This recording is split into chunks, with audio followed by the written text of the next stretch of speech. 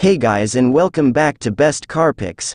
Škoda will unveil the second generation of its first SUV later this year, but is already previewing plenty of details about the Kodiaq large SUV, including how it will electrify powertrains.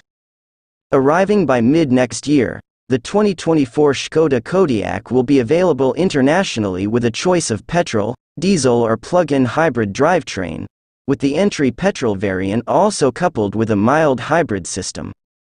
Škoda is focusing on petrol or electric models, meaning only the petrol-powered Kodiaq is headed here. The entry-level, front-wheel drive petrol drivetrain, a mild hybrid assisted 1.5-liter turbo 4 are making 110 kilowatts, as well as the AWD 2.0-liter turbo petrol with 150 kilowatts, are all but confirmed for Australia, both with a 7-speed DSG transmission. Further specifics will likely be confirmed for the local market closer to 2024.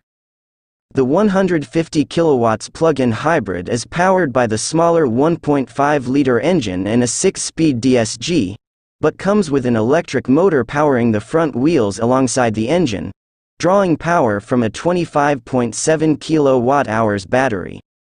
It can be charged at up to 50 kilowatts with a DC station and boasts a 100 kilometers electric driving range.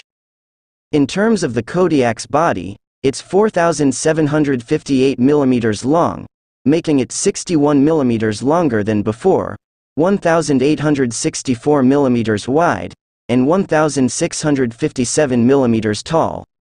Škoda says its extra length has increased its luggage capacity by 75 liters in the 7-seater variant to 910 L. In terms of tech, the new Kodiaq doesn't appear to be breaking new ground. A 12.9-inch central display for the multimedia is found inside near a 10.25-inch driver display, while a set of LED matrix headlights are found at the front. A dual phone charger is perhaps the biggest news for the interior from Škoda's teaser.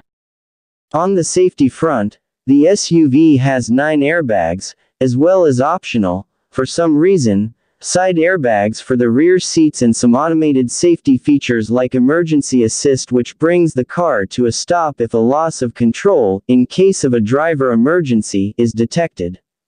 Hope you enjoyed the video, do subscribe for more such interesting content, thank you for watching my video.